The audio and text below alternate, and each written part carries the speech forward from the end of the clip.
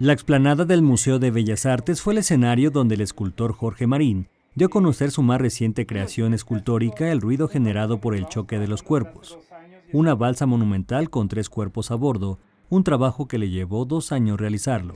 Me gustó porque pensé que este espacio es un espacio muy plural, con un público muy diverso, y entonces tenía que buscar la manera de tocar de alguna manera representar lo que es mi momento histórico en este país, pero también buscar que la gente pudiera apropiarse desde lo individual su, a, la pieza y por eso hice esta pieza donde hay iconos muy universales que a todo el mundo motivan, pero usados de una forma un tanto inquietante o inusual y eso es lo que provoca siempre la inquietud.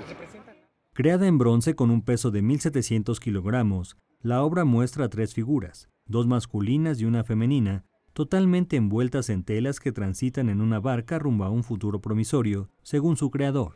Yo siento que estamos en un momento muy especial de crisálida.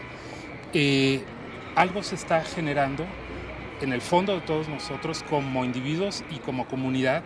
Hay algo gestándose, hay un cambio. Yo creo que es muy evidente, no voy a entrar en detalles, pero hay, yo creo que un cambio esperanzador y eso es lo que espero que salga de abajo de esas figuras veladas. O sea, tenemos futuro. Quiero decir, es una nación joven, a pesar de sus 500 años, sigue siendo muy joven y yo creo que tenemos mucho futuro. Así que para mi gusto es un mensaje esperanzador. Estamos en el cimiento, pero espero que podamos empezar a construirnos ya de una manera adulta, fuerte y para un futuro muy próspero y muy largo.